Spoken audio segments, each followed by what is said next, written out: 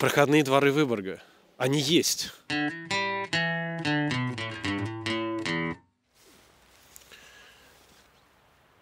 Однорукий террорист ранил губернатора в задницу.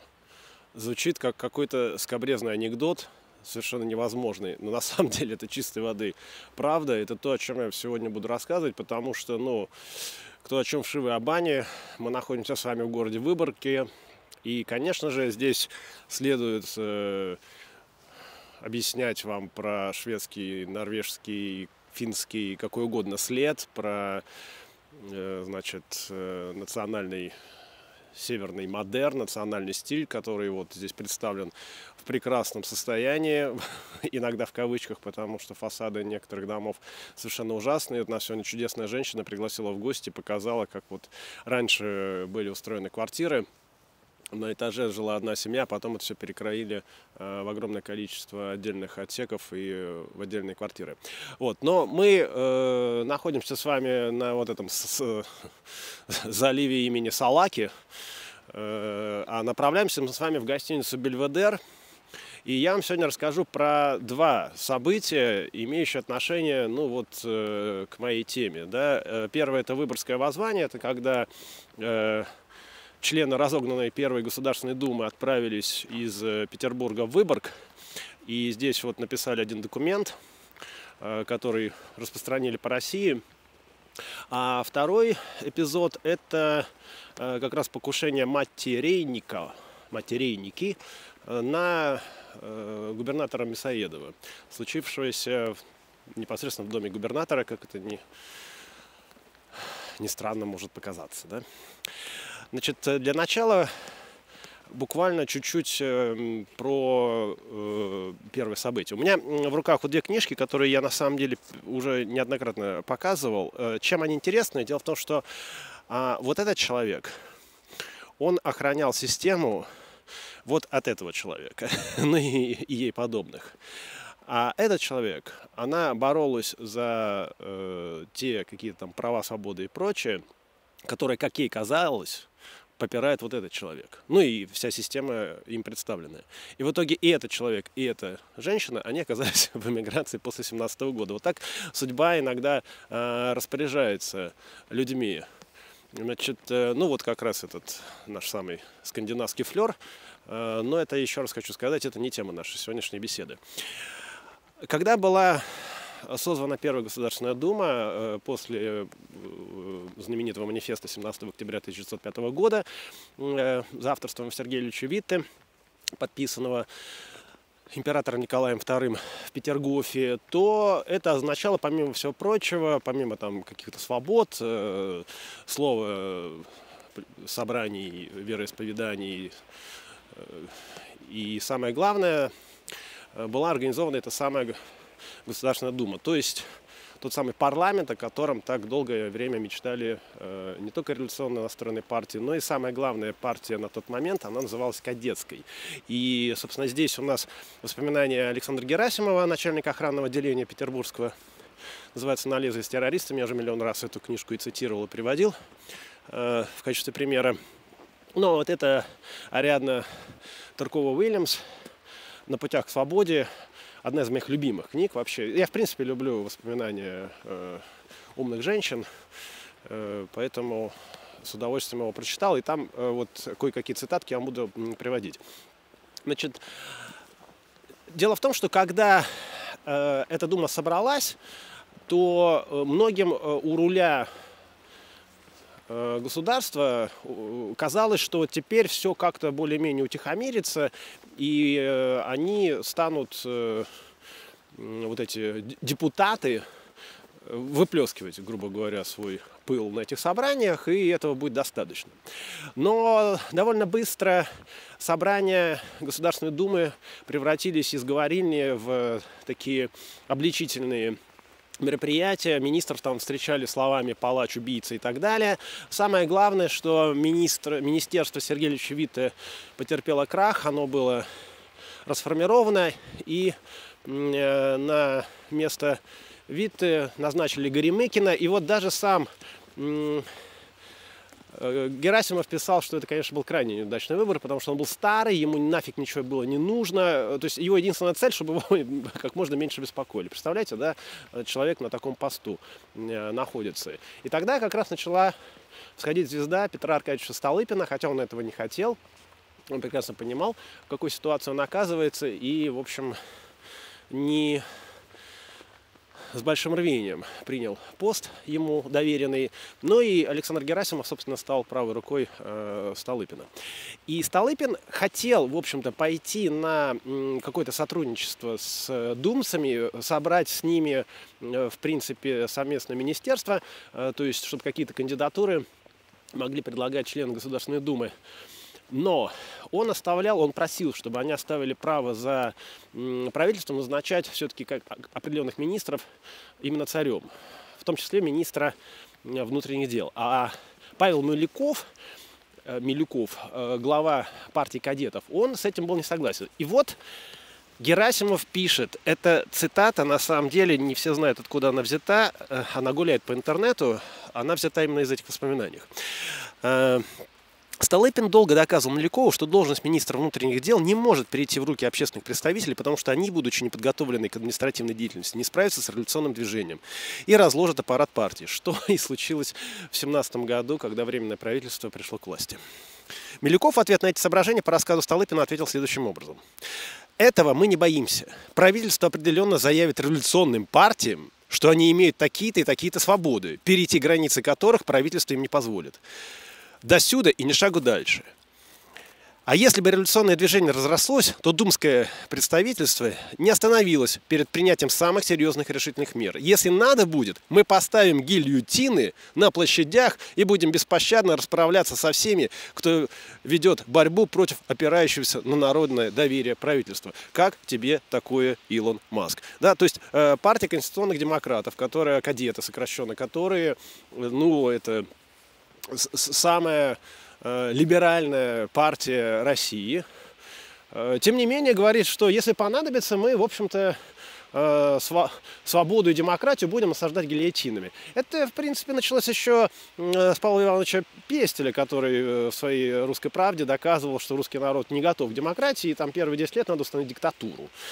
Поэтому вот это постоянное убеждение, что сейчас мы возьмем власть, и волнения прекратятся, а если они э, возобновятся, то как с этим бороться? Ну, мы тоже будем восстанавливать Гнилисина. А как, чем вы в этом случае отличаетесь от кровавого царского режима, извините? И в итоге, когда выяснилось, что э, члены Государственной Думы не хотят идти ни на какие уступки и прочее, э, Э, Столыпину, кстати, противодействовал э, Трепов, тот самый Трепов, который э, патронов не жалеет, да, то есть известная обложка э, газеты «Пулемет», это 9 января 1905 года, он полевел, и он говорил, что если сейчас, и многие тогда так считали, что если сейчас Думу разогнать, то в стране начнутся бунты, начнутся восстания, э, вся Россия запылает и так далее. Герасимов доказал, что ничего этого не произойдет, а если и случится, то в каких-то маленьких объемах, и мы, это легко, мы с этим легко справимся. Забегая вперед, надо сказать, что Герасимов был прав. Но э, у Столыпина был э, знакомый среди окружения царя, это барон Фредерикс. Я о нем, кстати, э, рассказываю частенько, когда вожу экскурсии по Конногвардейскому бульвару, поскольку он был долгое время э, во главе этого полка, одного из самых привилегированных полков Российской империи, и там дом его перестроенный э, сохранился. Фредерикс был абсолютно выживший из ума персонаж. Э, по воспоминаниям э, одних замечательных людей. Он как-то на одном из приемов подошел к Николаю II и сказал, а тебя царь тоже, да, на завтрак пригласил? Ну и, в общем... Но, тем не менее, он служил вместе с отцом Столыпина и сказал, да я царю докажу, что надо Думу разогнать. И Думу разогнали. И вот тогда, чтобы показать правительству, что ну, нельзя так попирать э, свободы и прочее, прочее, э, члены Первой Государственной Думы, не все, но большинство, в основном, конечно, ядро составляли кадеты, но там были представители еще других партий, они собрались и поехали в Выборг. Почему именно Выборг, я скажу чуть отдельно, потому что вообще княжество финляндское и история революционного террористического движения – это э, отдельная песня. Здесь были более щадящие э, законы, ну и самое главное – местные. И самое главное, местное население, прекрасно понимая, что революционеры действуют на разложение э, Российской империи, они оказывали им всяческую поддержку не только моральную, но и физическую. Да? Э, и это даже касалось ну, представителей полиции, жандармерии, которые периодически смотрели сквозь пальцы, сквозь... Э, правильно, да, сквозь пальцы, так, так говорят.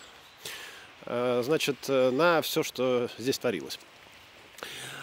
И вот уже теперь на этот раз Тыркова Уильямс пишет, что а, она на тот момент не была в Петербурге, но здесь у меня закладки нет, но я помню номер страницы. А, есть закладка. Я обманул, да? Да, решили ехать в Выборг, так как в Петербурге полиция может помешать. И она приехала с утра сюда, Наши ученые-юристы толковали обращение к народу как акт конституционный, а не революционный. Видели в нем призыв не к бунту, а к пассивной защите прав народа.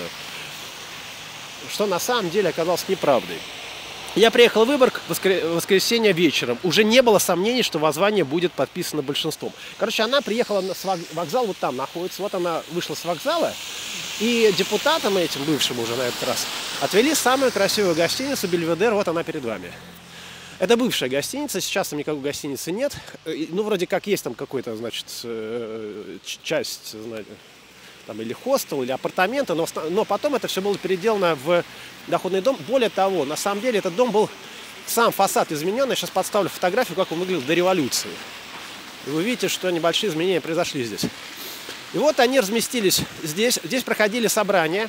И здесь э, они написали вот это самое э, выборгское воззвание. Значит, смысл этого выборгского воззвания заключался в том, что нужно не платить налогов и не отдавать солдат в армию.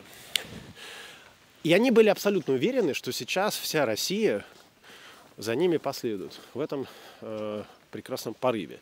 На фасаде этого здания есть одна единственная мемориальная доска, что здесь вот Ленин и Крупская проводили прекрасное дни в августе 1906 года, потому что дедушка Ленин здесь издавал партию, ой, в смысле, партию, газету «Пролетарий». Ну, Ленин где присел, там ему и понятное дело. А, понятное дело, точно так же здесь уже не могло в советское время появиться никакой мемориальной доски про эту партию конституционных демократов и про это выборское воззвание, потому что, извините, они точно так же оказались в итоге в эмиграции. И, в принципе, отец Набокова, который здесь присутствовал во время написания этого воззвания, и он его подписывал. Он же погиб, собственно, защищая Мелякова, на которого было совершено покушение, э, по-моему, в Берлине, если я не ошибаюсь. Так вот, а, а, что бы я хотел процитировать здесь? Дело в том, что некоторые мысли э, Ариадны Турковой-Уильямс, они вот прям очень созвучно тому, что я иногда произносил в своих выпусках, хотя э, ну, мы друг с другом не знакомы по понятным причинам. В этих рассуждениях было много политической романтики и очень мало политического расчета и предвидения. Она пишет о том, что сейчас вся, ну, в этих рассуждениях, о том, что сейчас вся Россия за них там вступится и так далее. Логическим, пост, логически постройка была очень хрупкой. Но кто же в Выборге опирался на логику? Нами владели политические страсти. Мы горели негодованием против тех, кто дерзнул посягнуть на первый русский парламент, воплощавший мечты стольких поколений.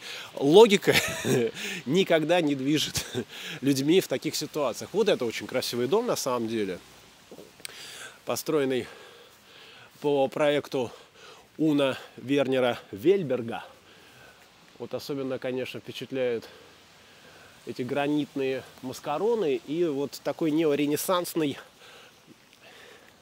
получается Хамцемир. Получается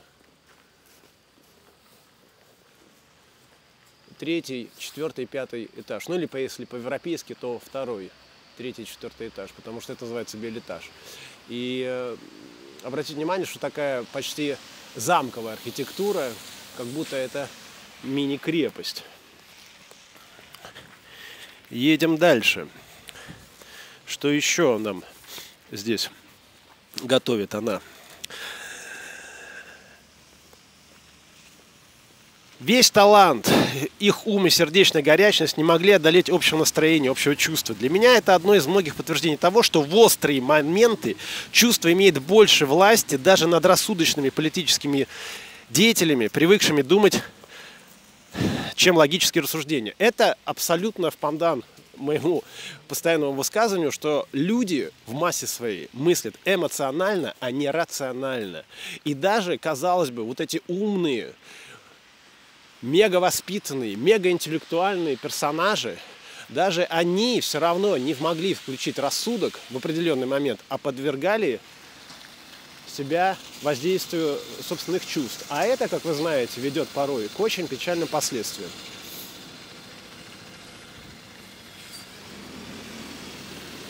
Сейчас мы с вами, в принципе, направимся к направлению одной из э, архитектурных жемчужин города Выборга, э, библиотеки Аалта, но, опять-таки, это не совсем тема нашей проходки.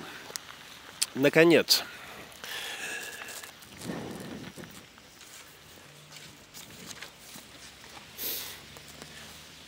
она пыталась убедить одного из э, бывших думцев, и он ей возражал – Ариадна Владимировна, вы форсируете меня впервые в жизни совершить поступок, находящийся в контрадикции с моей юридической логикой. Вот как вам такая фразеология, вообще-то такая речь, да? А, ваше утверждение находится в контрадикции с э, моими убеждениями.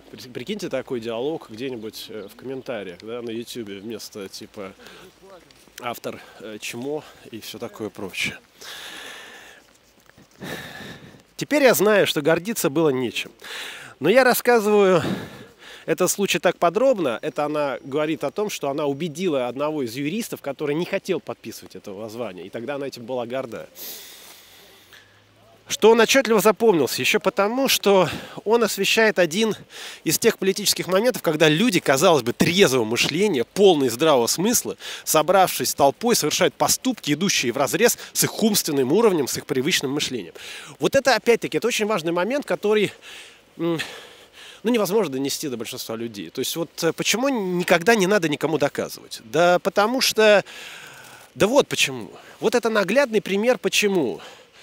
Потому что даже вот такие э, монстры интеллекта, политической воли и всего такого прочего оказываются вдруг совершенно не в состоянии включить все-таки рациональное мышление и принять правильный результат. Что в итоге получилось? В итоге получилось то, как и предсказывал Герасимов. Да, были какие-то восстания в Свеберге, в Кронштадте. Сейчас вот подсними, я просто уберу э, Не хочет человек, чтобы я нагружал рюкзак книжками. А я специально этот рюкзак для этого взял, чтобы потом не таскать с собой. И э, вот я когда читал воспоминания Герасимова, я, поскольку тогда я был в Выборге на самом деле э, очень часто и очень много э, в отрочестве, то есть в подростковом возрасте, потому что у меня за Каменогорском здесь был пионерский лагерь. И я там познакомился с, с чувачками отсюда, ну и мы к ним пару раз ездили в гости.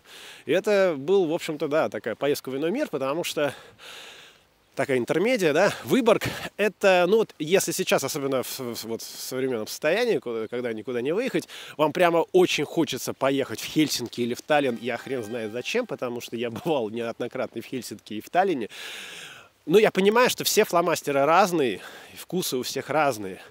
Но вот совершенно не города моей мечты. Вот а, абсолютно, да. Но вот если вам прям очень хочется вот именно такой северной Европки, Бергеном здесь, конечно, не пахнется с его действительно восстановленным гандейским уголком, то приезжайте в Выборг, тут вы эту Северную Европку вполне себе почувствуете Э, более того, никаких границ не надо пересекать. Поскольку Выборг, он э, всегда был довольно долгое время вторым городом после Гельсингфорса, после Хельсинки нынешнего. Ну и надо сказать, что, конечно, финны, они очень сильно э, до сих пор э, несколько переживают, что Выборг, он на российской территории находится. И я, соответственно, не знал этого, э, поскольку я здесь не местный гид. К Столыпину очень понравилась шутка, что, ходившая в народе, что депутаты поехали э, Выборг крендели печь. Оказывается, это уже потом я выяснил, да, и сейчас это все знают, и более того, это местный, там, не знаю, тренд, бренд и все такое прочее. Крен... Ну, вот этот знаменитый выборгский крендель, да, то есть это как, не знаю, тульский пряник, или как петербургская корюшка э, и так далее. Поэтому вот э, без знания, конечно, этого контекста э, невозможно эту шутейку было э, опознать. Ну, давайте, ладно, мы обойдем вокруг этой замечательной библиотеки. Здесь проходит мероприятие, э, посвященное выставке студентов нашего петербургского училища имени Штиглица, которые разработали ряд архитектурных проектов по облагораживанию каких-то вот выборгских территорий. И вот там, значит, целая делегация приходила, и их там по улице слона водили, а сейчас вот они сидят, бедные, несчастные, уже сколько часов прошло, они все там выслушивают и оценивают эти проекты. Теперь мы э, переносимся к Э, другому событию, имевшее здесь место. И прежде чем о нем рассказать, я хочу поблагодарить э, историка Анну Лавренову, которая по моей просьбе, вы могли видеть Анну, она рассказывала мне на канале про, его, про ее любимого персонажа, директора департамента Трусевича. Э, довольно долгий у нас был проход в Петербурге. Она в Москве пошла в библиотеку и взяла книжку по моей просьбе, сфотографировала ее и прислала мне. И, в общем-то, информация, которую я вам сейчас буду сообщать, при, ну вот реально вам ее больше никто не расскажет, потому что, понятное дело, эту книжку никто в трезвой уме и твердой памяти не станет читать. Она рассказывает про покушение как раз на Мясоедова этого материнника. Значит, материнника, он вообще был сын довольно э, небедного финского агрария. Но поскольку тогда э, шла это достаточно ошибочная была политика э, Российской империи, очень усиленная русификация княжества финляндского, то это, конечно, ну и задвигание финской культуры, э, это вызывало, конечно же, очень серьезное отторжение у финнов. И он сначала приехал в Гельсингфорс для того, чтобы у, у, у, там убрать э, прокурора Иолсона. Ионсона, у Иолсона, не помню, как правильно фамилия, потому что до этого уже Шауман убил генерал-губернатора Бобрикова и стал, кстати, национальным героем Финляндии. Ему очень такой серьезный монумент стоит э, на территории Финляндии. Что он пытался, соответственно, выследить этого э, прокурора. И для этого он что сделал? Он явился к нему домой, когда его не было, сказал, что хочет его видеть. Сыщик, который там, ну, это так сказано в этой статье, это вообще перевод со шведского языка, брошюрки такой революционной. Э, он сказал, зачем вам он нужен, и э, мать Реника ответил, что я это скажу только ему лично. Визитер показался сыщику подозрительным, и он его задержал. Вызвал подмогу, того пере, переправили в полицейский участок. И э, на вопрос, опять-таки, полицейского, то сказал, что я буду разговаривать только с комиссаром. Комиссар это глава э, значит, финского отделения полиции. Комиссар пришел, и тогда мать Реника сказал, что у меня есть сведения, что на прокурора готовится покушение. Я знал человека, который мне об этом рассказал. И он собирается приехать его убить. Я сначала не верил, но когда я выяснил, что тут уже выехал Гельсингфорс, я специально последовал, чтобы вам об этом рассказать. Его спрашивают, хорошо, а как его зовут? Он говорит, его зовут Матя Рейника. Вот здесь э, первая такая сказочная ситуация, то есть, э, ну, по идее, конечно же, они должны были потребовать у него документы и вообще проверить, кто он, э, но, судя по этому рассказу, ничего это не произошло. Более того, ему предложили, ой, ну раз вы его знаете в лицо, тогда вы нам поможете его найти. Ну а если у вас это не получится, то я вас устрою в охрану прокурора. Там, в общем-то, работа не пыльная, и мать Реника с удовольствием на это согласился. И вот они с э, одним из полицейских начали ходить по всяким заведениям в Гельсингфорсе, э, ну, нынешнем Хельсинки. Естественно, они там никого не находили, и тот предложил ему пойти в цирк. Мать Реники согласился, они посмотрели в представление, никого там не увидели и встали на выходе из цирка. И Реники встал Э, прямо под электрической лампой, которая на него светила. И выходила толпа, и один из э, каких-то старичков его узнал и подходит, ой, мати, привет. Тот пытался сделать вид, что он его не узнает. Ну как же ты меня не узнаешь? Ну, в итоге сыщик понял, что это он и есть, схватил его за руку, сказал, ах, вот, я тебя поймал. Э, но Рейники со смехом, как там написано, ответил, ну что ж, я не буду Скрывать, да. Осталось, как он маску Зора срывает. Я и есть материнника. Вот. Сыщик, понимая, что перед ним какой-то очень серьезный преступник, он послал за подмогой, а тем временем Мати предложил, ну, давайте я вас э, угощу э, коньячком в э, буфете. Они пошли. И как только сыщик отвернулся, материнника прыг-прыг-скок и через окно выскочил. И дальше он побежал на вокзал, он знал, что э, в поездах, которые местные ходят, э, билеты можно покупать сразу же в поезде. Поэтому вскочил в уходящий поезд. Но он понимал, что, скорее всего, на конечную станцию дадут знать о том, что сбежал такой вот персонаж. И поэтому он, не доезжая до конечной станции, спрыгнул с поезда. И когда он прыгал, на встрече шел другой поезд. И его правая рука попала под колесо и раздавила руку, но он даже не вскрикнул. А вот с этой вот э, полуотрезанной рукой побежал э, в какую-то там местную хижину, упал без чувств. Ну и, соответственно, э, человек, который там был, понял, что он попал э, в аварию, вызвал местных там каких-то медиков, те погрузили его на поезд и отвезли обратно в Гельсингфорс, откуда он свалил. Там его поместили в больницу, где руку ему сразу же ампутировали. Ну и, естественно, выяснилось, кто он, и э, пришли полицейские чины, стали ждать, пока он придет э, в себя. Вот это тот самый губернаторский дом, где, ну, конкретно на тот момент э, был э, губернатором Мясоедов.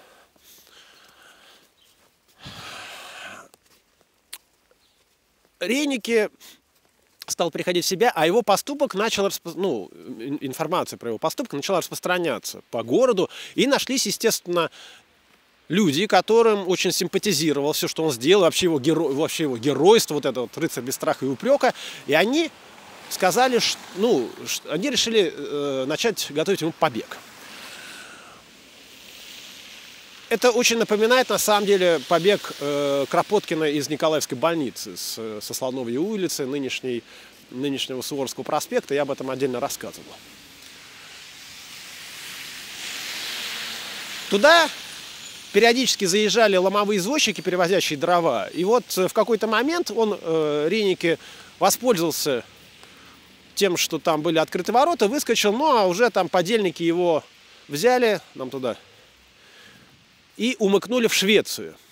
В Швеции он окреп, стал учиться тренироваться, стрелять левой рукой, навострился таким образом, что уже мог спокойно поражать мишени. Посмотрите, какой красивый особняк. Особенно, конечно, вот это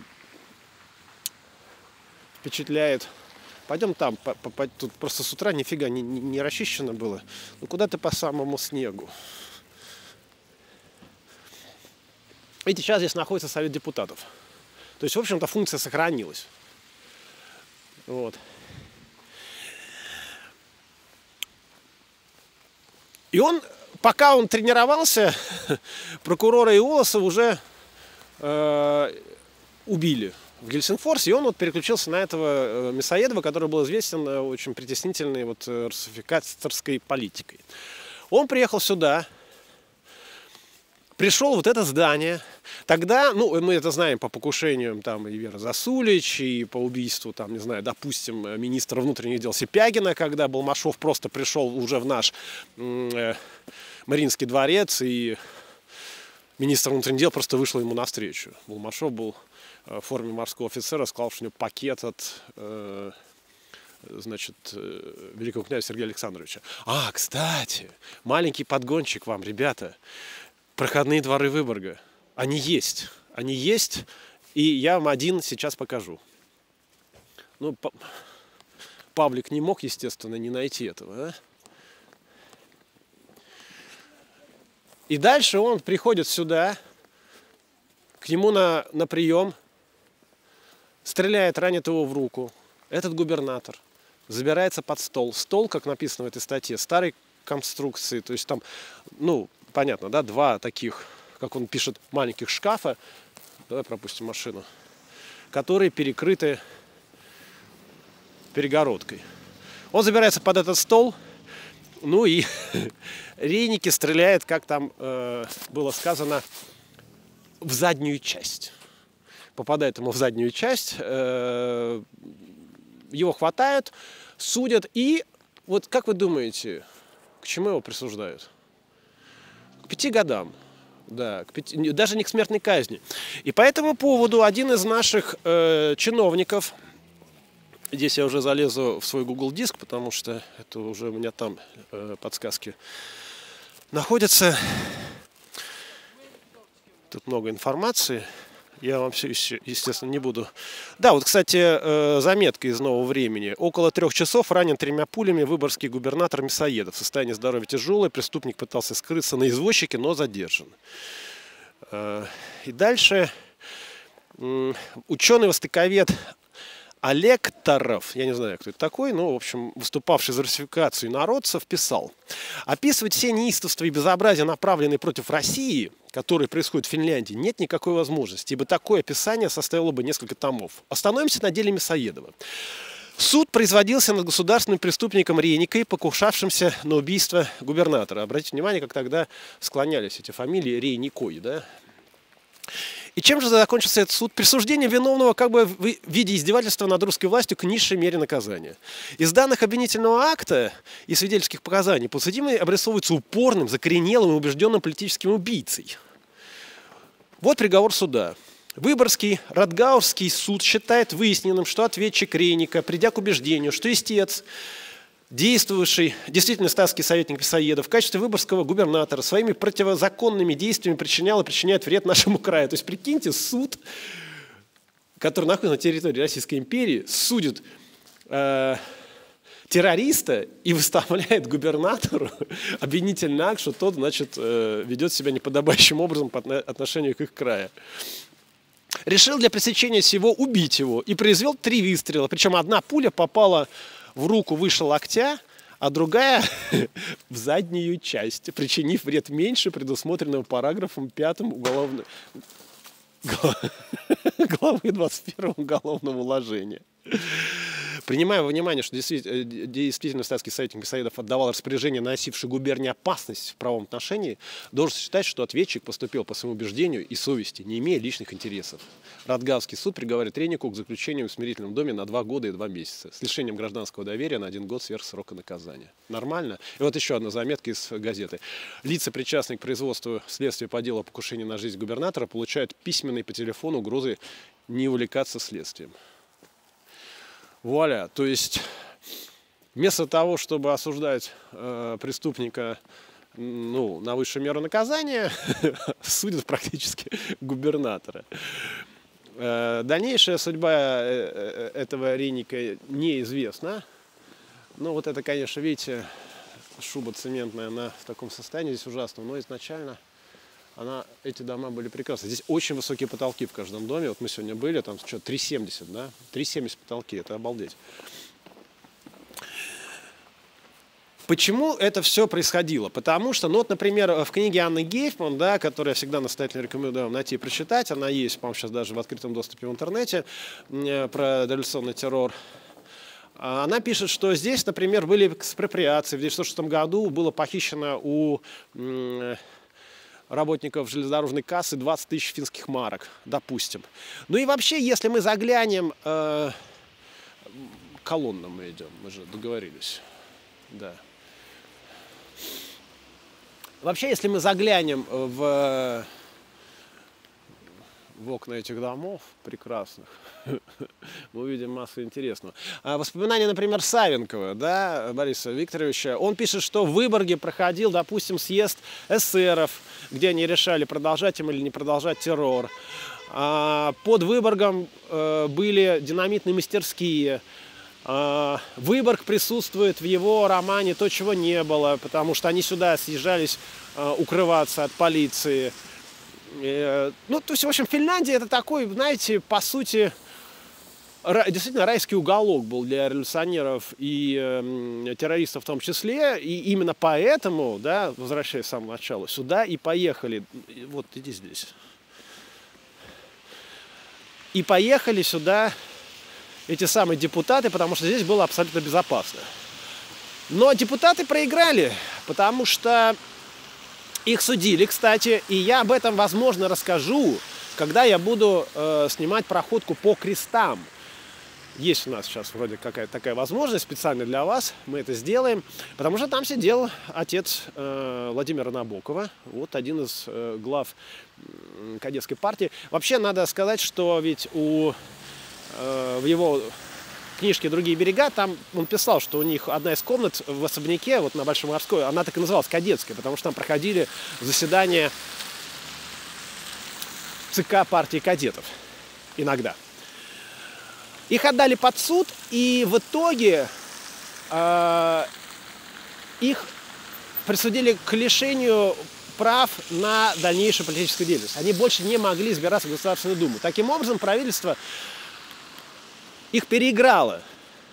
Никакого возмущения в стране не было, а самая вот такая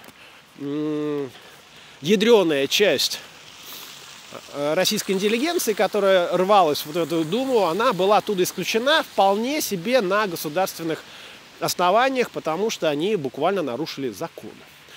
И это именно то, о чем потом писала Теркова Уильямсу. Она писала об этом, конечно же, в эмиграции уже спустя много лет, уже много что передумав, переосмыслив и пере, э, оценив.